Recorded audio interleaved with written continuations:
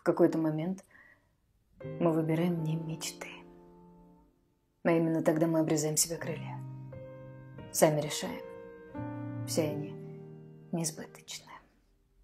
Да и летать это доля птичья. Но если идея к тебе пришла, значит, ты сможешь пройти этот путь. Она тебя искала и нашла. А ты при первой трудности готова свернуть. Сейчас же закрой глаза. Вспомни из детства мир. Во что играла?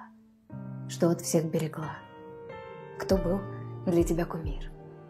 Почему ты не стала певицей? Или художницей? Или врачом? Цепь событий шла вереницей. Сама для себя ты становилась врагом.